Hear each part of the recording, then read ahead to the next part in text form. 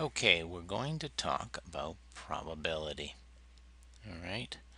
Well, we aren't. I am. And probability refers to the chance of an event happening, and that chance can range from 0%, which that means it definitely won't happen, to 100%, meaning it'll happen for sure. So let's look at some examples. Uh, in the weather, we might have a 20% chance of rain. Well, that's closer to this value, isn't it? So we would say, eh, it's probably not going to happen. There's not much of a chance. We might have a 50% chance of rain. So I'm right in the middle here, right? But I might not bring my umbrella. Depends if I want to take a chance. Or we might have a 90% chance of rain. And in that case, we'd be pretty certain that it's going to rain. And if I don't want to get wet, I bring my umbrella. If I could find it, or I didn't give it to my daughter. Now, in statistics, we use p-values. Same as probability. Bet you can guess, hint, hint, what p stands for. If you need a bigger hint, I'll move the arrow. Okay. So, we have a 20% chance of rain. Well, the only difference is here we would express it as 0.20 or a 50% chance we would say 0 decimal 50 or a 90% chance we 0 decimal 90 okay? I guess you can see the pattern there. It's just a percentage expressed as a decimal. So that's how we do it in statistics but let's give an example.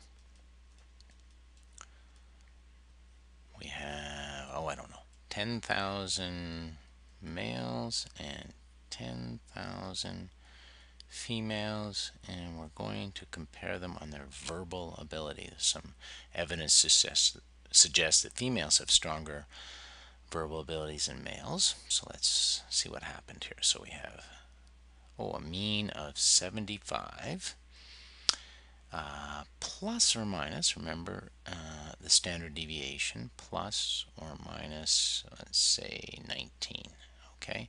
And the reason I write plus or minus is, remember this normal distribution here, there would be the 75 mean there, and then plus or minus 19 on each side. Those are the standard deviations there that I'm dotting out there.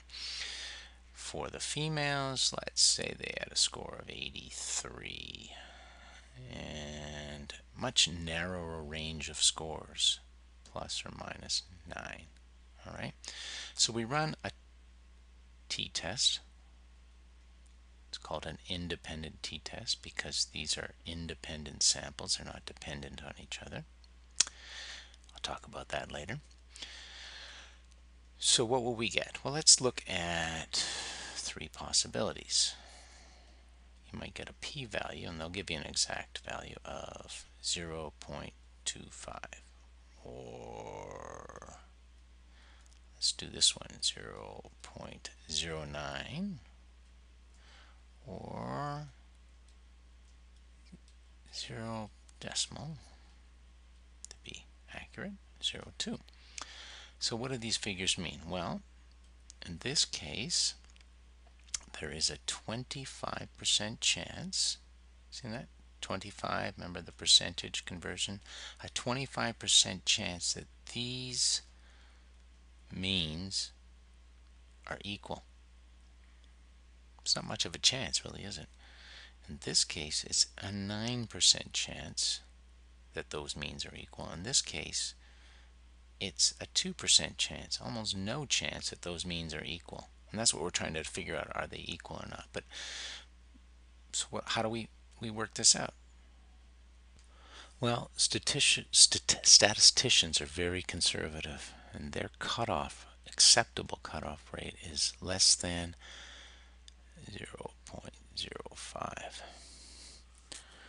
Or it's usually referred to as less than 0.05. Okay, so what does that mean in this case? Well, in this case, we won't accept this p-value uh, because 0.25 is, is not less than decimal 0.05. And so we would say that though we, we could not say that they were statistically different. And the same with this. We got that value. We could not say that they were statistically different because it doesn't match or meet this criteria, very strict criteria actually. In this case, there's only a 2% chance that these means are equal. So we're willing to say that yes, it does match this test, and then we can say that males and females are statistically different. More specifically, females have significantly, we might use see that term, significantly higher scores than males. Significant difference, significantly different, okay? You'll see that expression, this word for sure. And when you say something is significantly different, it meets this very strict criteria and therefore we can say that these means are different with some pretty high confidence. Uh, in this case, 90 95% chance that we're, we're right. And, and st statistics, they have to be that conservative, right? Because what if you're doing tests on, on um, oh, I don't know, uh, the effectiveness of certain drugs on, on cancer or, or whatever, you, you'd really want strict uh, p-values to make sure that we were right okay? Because there's all sorts of errors. You you also you just keep in mind you can see p-values of even smaller. You might see in a paper 0.01 or even p less than 0.001 so in this case we're really really sure that these means are statistically different and that's the way you use p-values in statistics.